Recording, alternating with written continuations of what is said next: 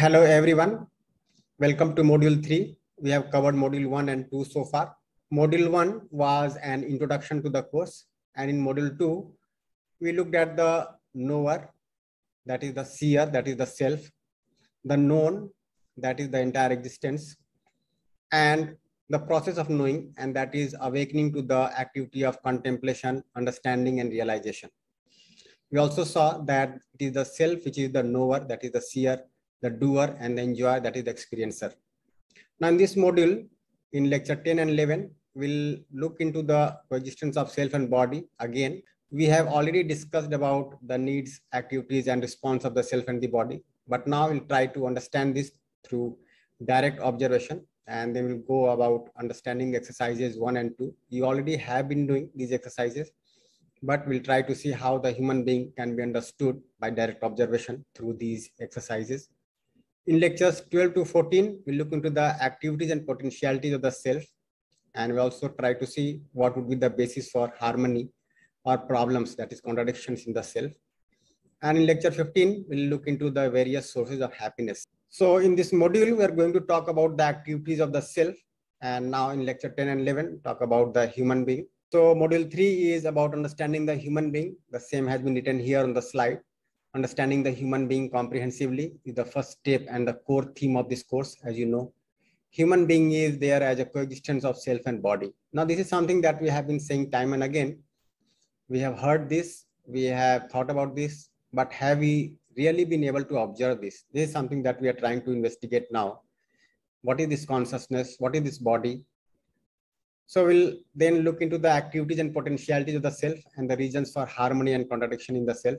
So if you look at the organization of the lectures, understanding the human being as coexistence of self and body, and in-depth investigation into the need, activities, and response of both the self and the body that can be reinforced by direct observation and for that, we'll talk about the practice sessions. We'll have a look at the exercises one and two. And this is what we are going to do in lecture 10 and 11. Then we look into the activities and potentialities of the self in further depth and detail in lectures 12 to 14. We'll also see the reasons for harmony and contradiction in the self that we'll do in lecture 14. And then finally, we'll try to review the various sources of happiness in lecture 15. Now, in these two lectures, we are going to investigate in further depth and also in further detail about the human being. In particular, we'll try to understand the human being as coexistence of the self and the body. And in-depth investigation into the need, activities, and response of both the self and the body will be made.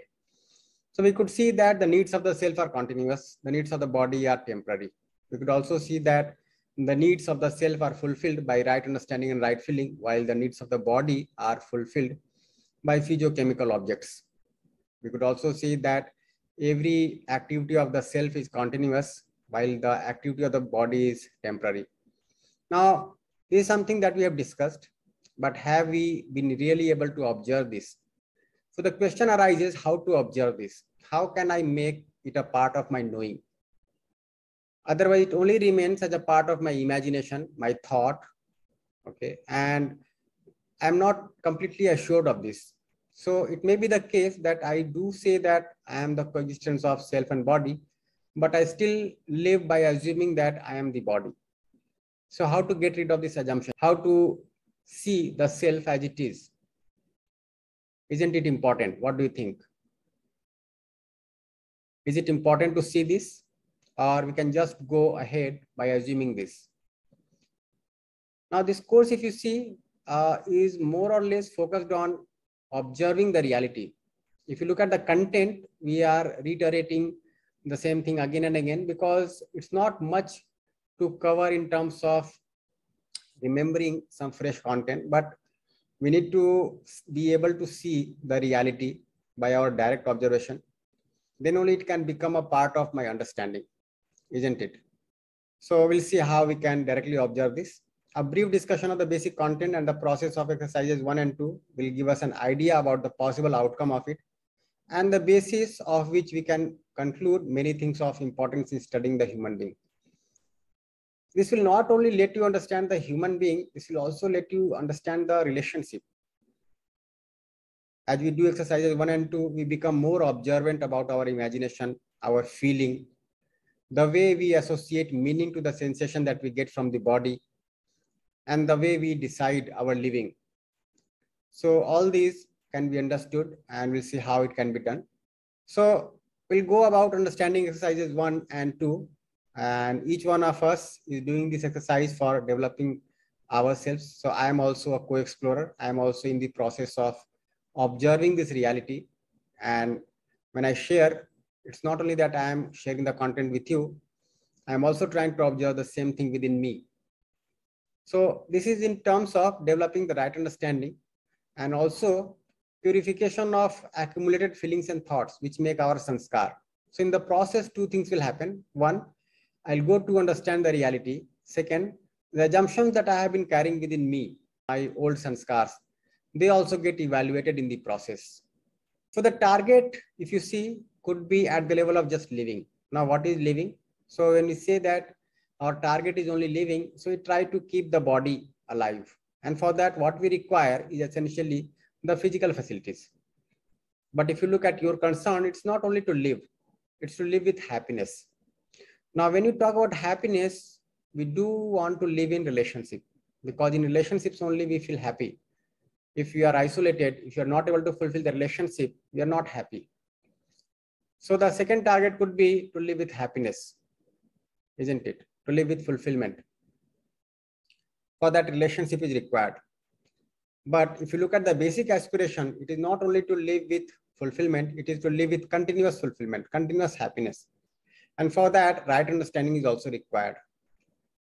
So we require right understanding, we require relationship as well as physical facility. When we have all the three, we are able to ensure our living with continuous fulfillment. When we are only trying to fulfill the relationship, we are working to be happy. But when we are only working for physical facility, we are just trying to survive. So for living with continuous fulfillment, that is continuous happiness, we are doing these exercises. In the first course on UHV, we investigated into the basic human desire, the basic human aspiration, and we identified that it is continuity of happiness. We had concluded that in order to ensure continuous happiness, we need to develop three things, right understanding in the self, right feeling and thought in the self, and competence or right living with the world outside. Now this is rephrasing what we were discussing earlier. So essentially, when we say relationship, there are two parts of it. One part is the right feeling, right thought in the self, and the second part is the expression. Now, expression comes naturally when you have the right feeling and right thought in the self. So the right understanding has to be ensured in the self. The right feeling and right thought also has to be ensured in the self, isn't it? And then when you go for ensuring the competence or right living with the world outside, we learn the expression in our relationship. We also learn how to fulfill the needs for physical facility. For that also, we have to understand how to make out the need for physical facilities rightly. We also have to understand the harmony in the nature so that by participating in the harmony in the nature, at least not disrupting it, we are able to fulfill the needs of the body. And then only our production processes, our managerial process can ensure our sustenance of living with continuous fulfillment, isn't it? So try to make it out again for yourself. Are you able to get these three things? So to ensure continuous happiness, do we need right understanding or not? And ultimately, where is it going to be ensured in the self or the body? Similarly, do we need to ensure right feeling and right thought? Isn't it? When we have right feeling and right thought, then only we are able to fulfill the relationships rightly. And for interacting with the world outside, we need to learn skills. We need to develop the competence. And for interacting with the world outside, we do need to develop the competence for our right living, which will include our expression in behavior as well as our skills in work. So try to make it out for yourself. The same thing written here, but little elaborately. So we are doing these exercises in order to develop these three things. Now, when you say right understanding in the self, what is to be understood? So something that we had discussed earlier, what is to be known, right? So what is to be understood? What is to be known? So it is the complete existence. So the existential reality has to be understood. Now, when we talk about the existential reality, it starts from the self. So I have to understand the self. I have to understand the body. I have to understand the coexistence of self and body, how the two are interacting. I also have to understand the family, the society, the nature, and ultimately the entire existence.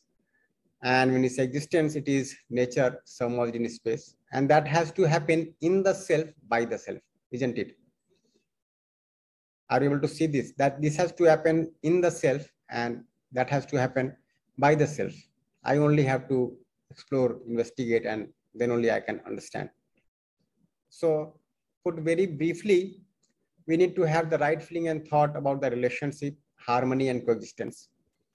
So is my feeling always in terms of relationship, always in terms of harmony, always in terms of coexistence? This is something that I have to keep on exploring. You have to keep on exploring. That is something that we as a human being have to ensure within oneself.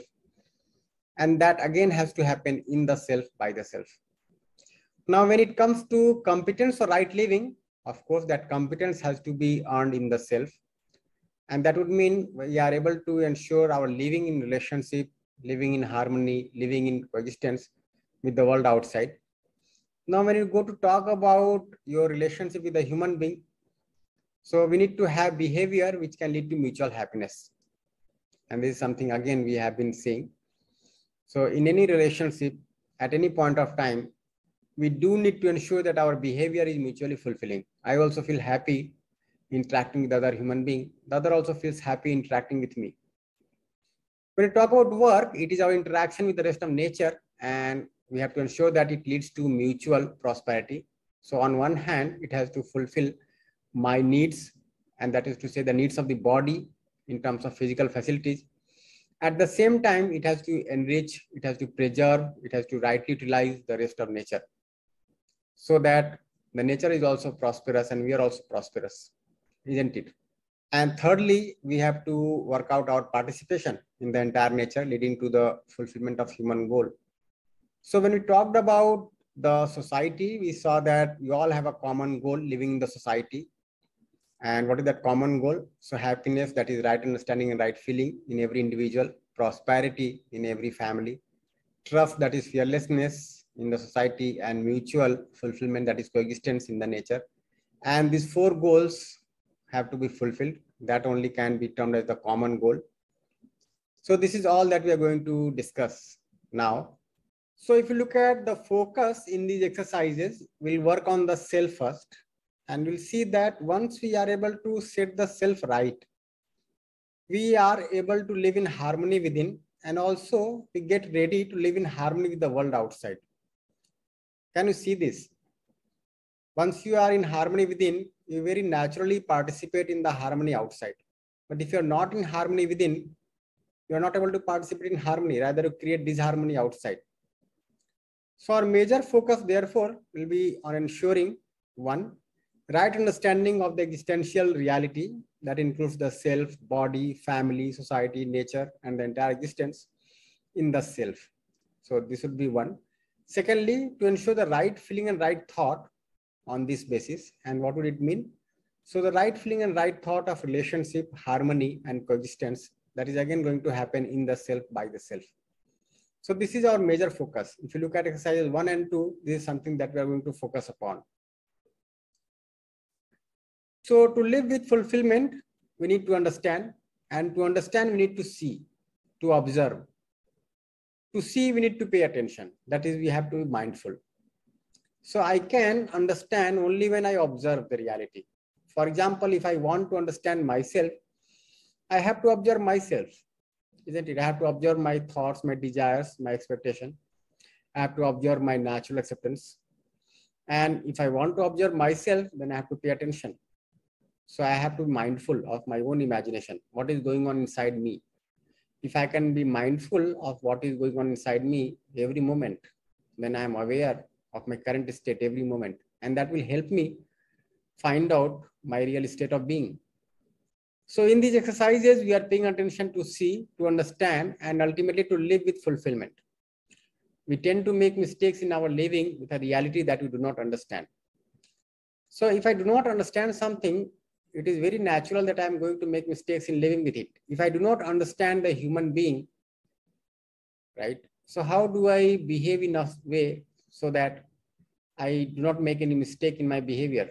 If I do not understand what air is, what water is, what soil is, what the animals are, what the birds are, what the plants and trees are, and I have to interact with them, then I'm bound to make mistakes. So you can observe this very uh, minutely in your day-to-day -day behavior, work, and participation. You see that we tend to make mistakes in living in our relationship if we do not understand the relationship. Now, relationship is a very important issue for each one of us. And many times we do suffer in relationship because the mutual happiness is not ensured. And we just assume that I hope this uh, relationship gets set right. But how to have the relationship set right? This is possible only when, when I pay attention to the relationship. Otherwise, I keep on making mistakes in the relationship. And many times I keep on finding faults in the other, right? Without being able to see what is my role in that relationship. So if you do not understand relationship, you cannot have fulfilling relationship, very natural. This is something that is going to happen, isn't it? So there are two important aspects while paying attention. One is the object of attention and the other is the process of paying attention. So you are the seer, you are the observer, you are the knower, right? And you are paying attention to something, be it the other human being, be it the rest of nature, be it yourself. So if you start understanding yourself, you'll see that you are the observer and you are the object to be known. So you are the object of attention. And then there's a process of paying attention. How do I pay attention? do I pay attention to the form and shape of the other object? Do I pay attention to the properties of the other object or something else? Can I pay attention to the natural characteristic also of the other object, the innateness, the coexistence? And how do I pay attention? So these are two important aspects. So as we go along, this will be more clear to you. We'll start making out the object of attention and we'll also see what be the process of paying attention isn't it? Now, while paying attention, as you mentioned earlier, these are the two important aspects, the object of attention, and the process of paying attention. So object of attention is whatever is to be understood, to be lived with. And as I said, it could be the other human being, it could be yourself, it could be any entity in the nature. And the process of paying attention is being aware. And uh, you see that when you try to be aware, you might have a natural tendency. And the second thing is process of paying attention, and that is to be aware. And that essentially means to evaluate without any reaction. So many times it so happens that when we start paying attention, we start reacting also because we have a burden of preconditionings or our inclination to sensations. And by virtue of that, we keep on reacting. So can we pay attention without reacting? Can we evaluate without reacting? This is something that we have to observe. So what is to be understood? So we have to understand all that we live with, the self, the body, the family, the society, the nature, and ultimately the entire existence. And this is all that we have to understand. When you say entire existence, it includes everything. It includes the space and also the nature. So the nature is submerged in space. There are four orders in nature. There are two kinds of units in nature, and we need to understand each and everything. Can we say that we want to understand up to a limit and not beyond that? In fact, the more you are able to understand, your curiosity, your eagerness to understand is on the rise. And do not want to stop anything before understanding the whole thing, that is the whole existence. Now, in the first course on UHV, that is UHV2, we have seen that existence is coexistence. And that essentially means that the units are there, which are of two kinds, material and consciousness, and they are submerged in space. So we'll try to understand these three things. One is the consciousness, that is the self. Second is the material, and one example of material could be the body. And the third is the coexistence or space. Now, these are three things to be understood, and we have to pay attention to these three.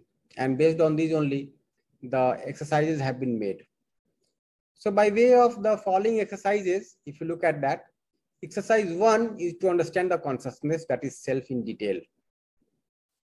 So as you go doing exercise one, you'll see that we pay attention to the self, the consciousness, step by step, and we become aware of that.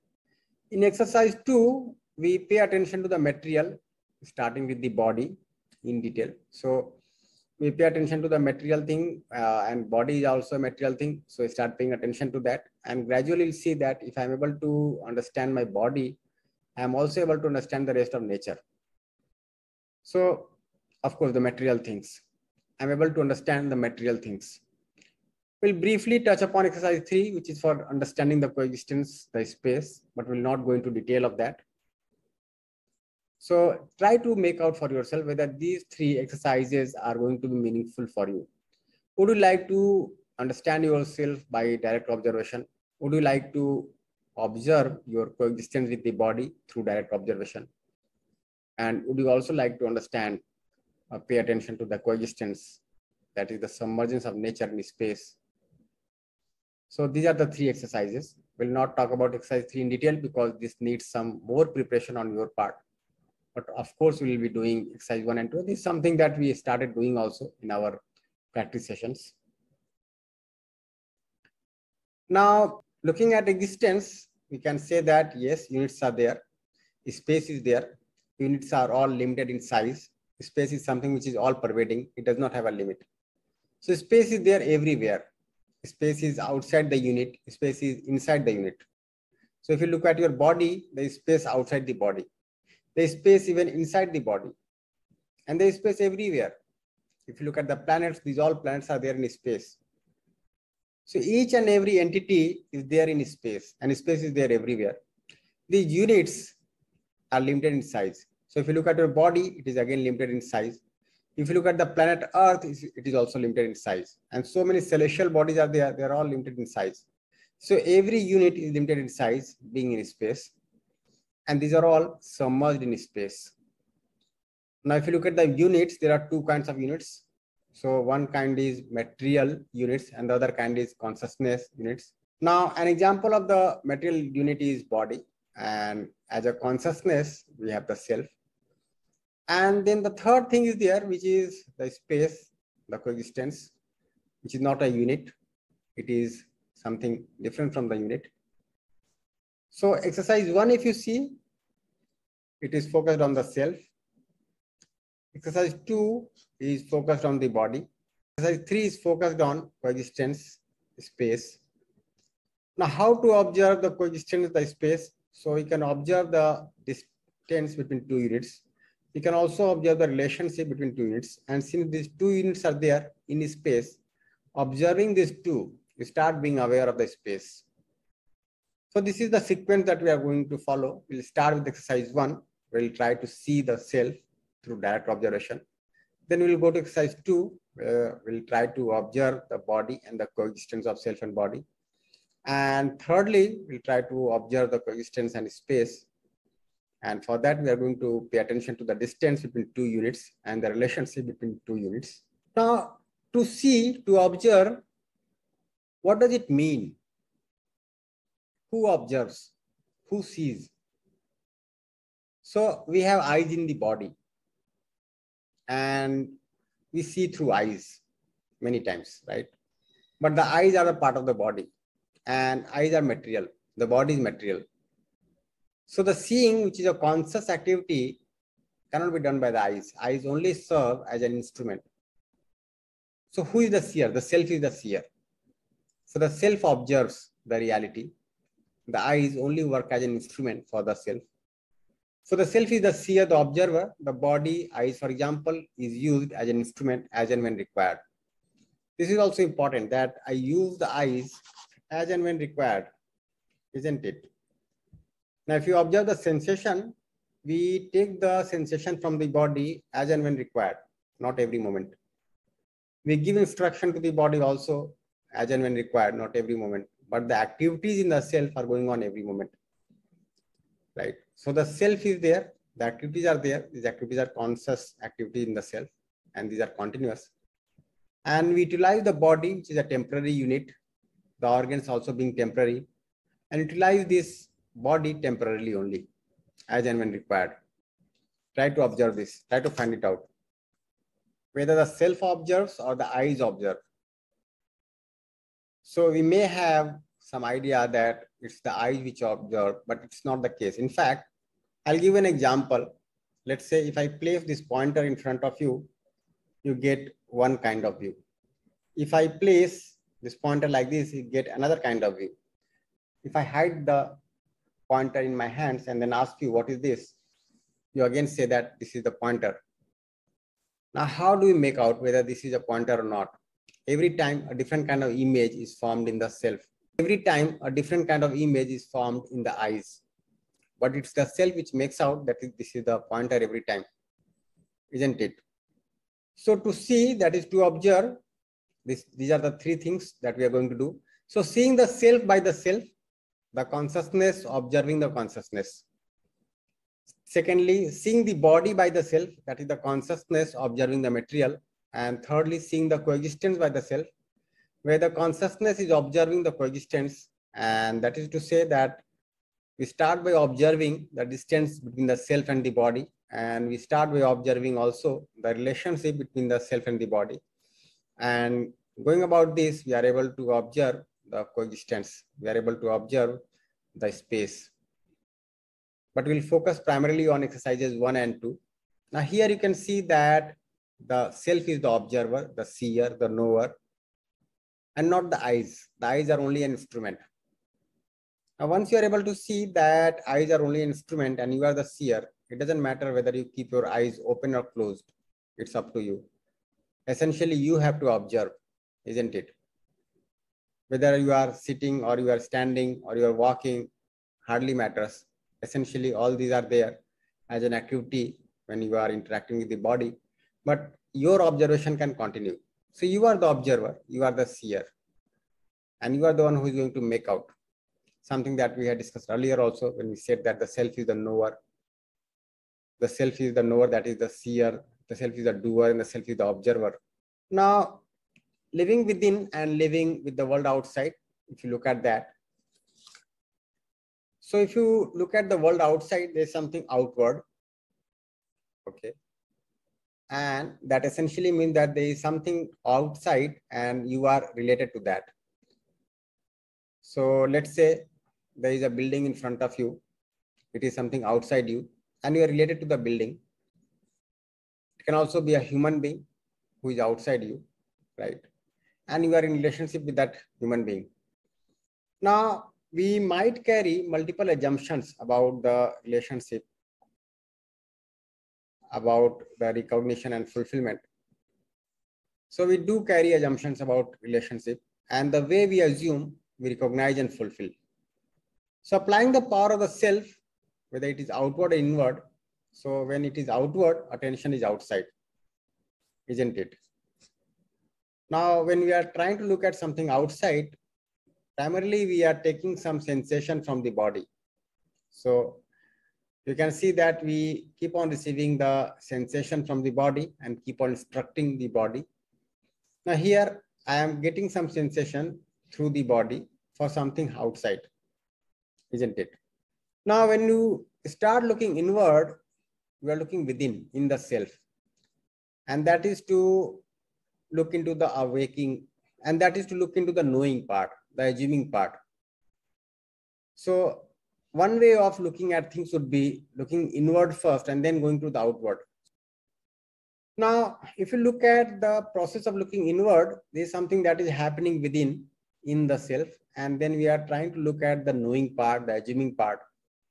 So the other way could be I look inward, I get clarity, I get understanding, and then I look outward.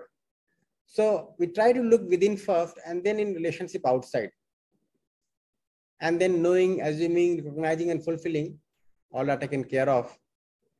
So applying the power of the self outward or inward, if you see, when you are applying it inward, the attention is inward.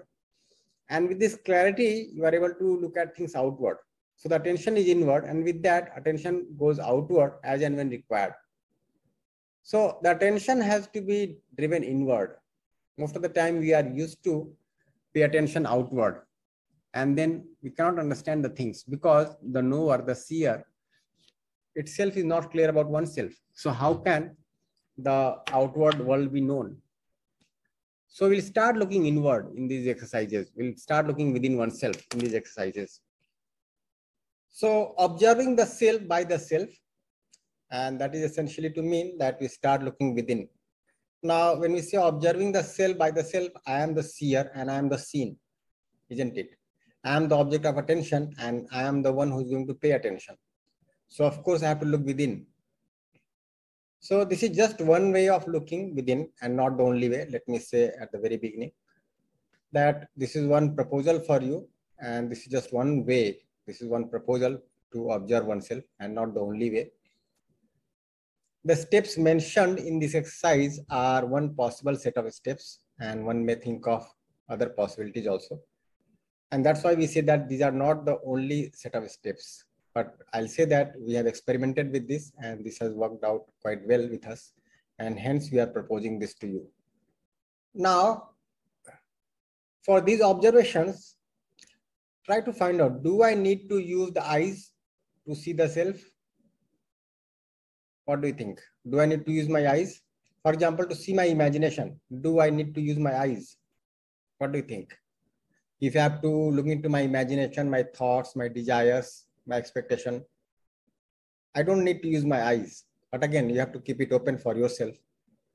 So if I look my if I look at myself, I feel that yes, it is not required. So I can give rest to the eyes. I can keep the eyes in a comfortable position. It can be open, it can be closed, it can be half open, whatever is comfortable with you. You can proceed with that. Again, ask yourself, do I need to take any work from the body in the process? When I'm observing myself, do I need to take any work from the body? For example, to see my feeling, do I have to take any work from the body? Again, if you try to make it out, we'll see that no, we do not need to take any work from the body. Here also we saw that we do not need to use the eyes. So you can give rest to the body. So keep the body in a comfortable position in any posture which is comfortable.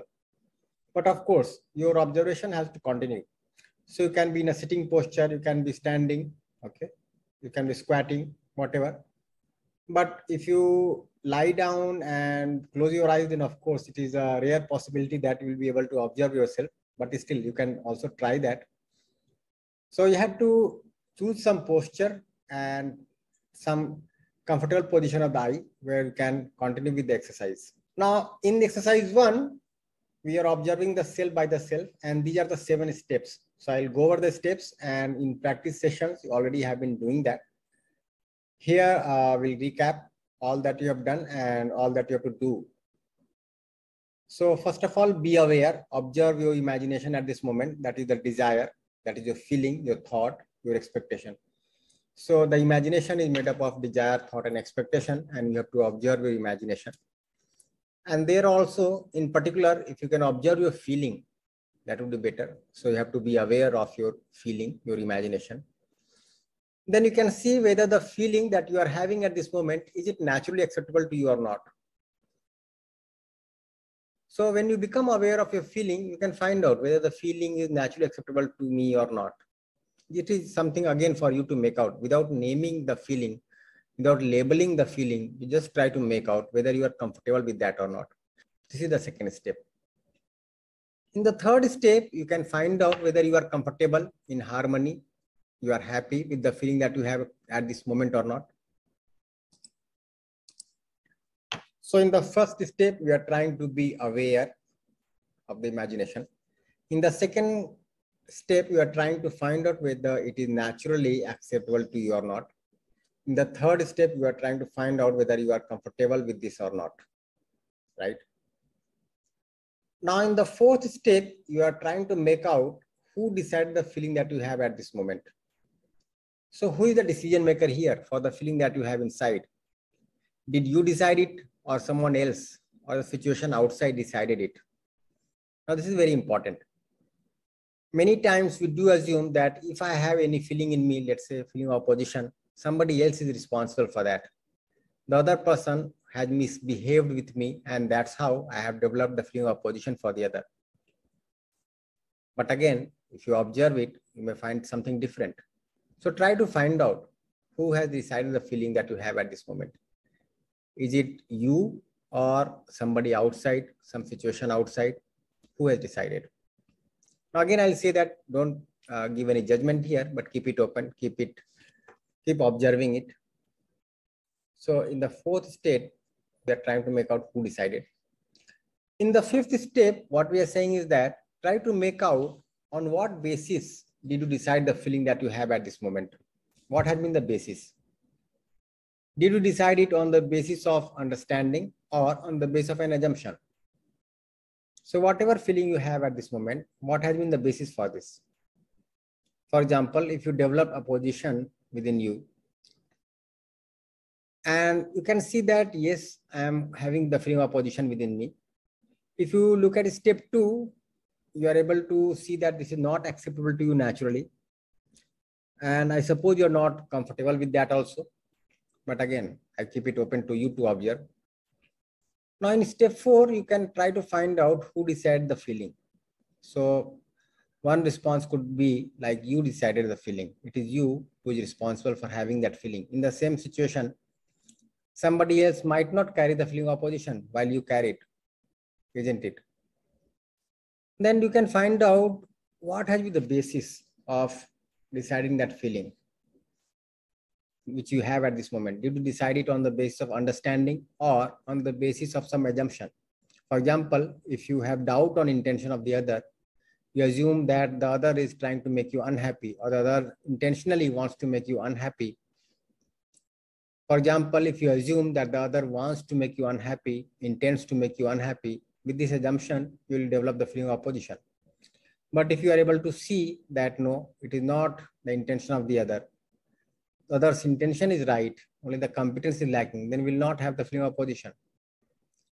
So you can try to make out what has been the basis of this decision making. In the next step, you can try to find out which feelings are naturally acceptable to you. Now, this is being aware of your natural acceptance. Is it the feeling of relationship or opposition? Harmony or disharmony? Coexistence or struggle? What is acceptable to you naturally? If feelings of relationship, harmony, and coexistence are naturally acceptable, there is a need to understand the relationship, harmony, and coexistence. Isn't it? So in step six, we are trying to make out what feelings are acceptable to us naturally. And if you are able to see that, yes, it is feeling of relationship, feeling of harmony, feeling of coexistence that is acceptable to us naturally, okay, then very naturally you are able to see that there's a need to understand it. Unless you understand these feelings, you'll not be able to continue with this. So in step seven, what we are saying, ensure that the feeling that you have at this moment is in line with the feeling of relationship, harmony, and coexistence, and not otherwise. So in step six, you are able to see the need for understanding this feeling. In step seven, you are able to ensure this feeling. So here you are able to make out the need.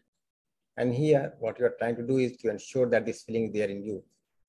Now, if these feelings are ensured in continuity, then we'll be in a state of harmony and happiness every moment. That is, we'll be in a state of continuous happiness. So it is important to note that when I'm able to understand the relationship, harmony, and coexistence in its completeness, then I will be able to decide my feeling, the thought accordingly, and I will always be comfortable within. I will be in a state of continuous happiness. So now going through all these steps, you are able to see very clearly that there's a need to understand the relationship. There's a need to understand the harmony, the coexistence. Now these are the seven steps, very short steps to uh, look at them. But when you start doing that, you'll find that a lot of work may be required to be done at your end. For example, when you try to be aware, you may see that you're not aware every moment. You lose your awareness. If you lose your awareness, the other steps will not follow. So you can start with the step one. And if you are able to bear all these steps within you in your imagination, the other steps will gradually get taken care of. And step one is very important to be aware. The more awareness you have, the other things start following. And if you're able to see the need to understand within you the harmony, the relationship, the coexistence, then only you are able to set the right priority for right understanding, the first priority. Otherwise, it may be the case that we assume that the problems are outside. People in my family, people in the society, people in my organization are responsible for my unhappiness. And then you seldom pay attention to your own feeling. You seldom pay attention to the decision maker who is having this feeling. And you are also not able to make out the need to understand. And you may feel that what I'm doing is right, the other is wrong, and hence the other has to improve. I am perfect. Now, this kind of common assumption is observed. But if you start doing these steps sincerely, you'll be able to see the lack of understanding in you and also be able to work on the understanding part in you. So in today's lecture, we try to study the human being through direct observation. We saw that there are three exercises to be done. One is observing the self by the self. The second is observing the body by the self. And the third is observing the coexistence by the self. And in today's lecture, we detailed upon the exercise one. You of course have been practicing also the various steps of exercise one. And today we summarized all the steps towards the end of the lecture and I hope today's lecture has further sharpened your study about the human being, about the self. And in the next lecture, we'll go further to discuss exercise two, which will further sharpen your study about the human being. So that is all for the lecture today. Thank you.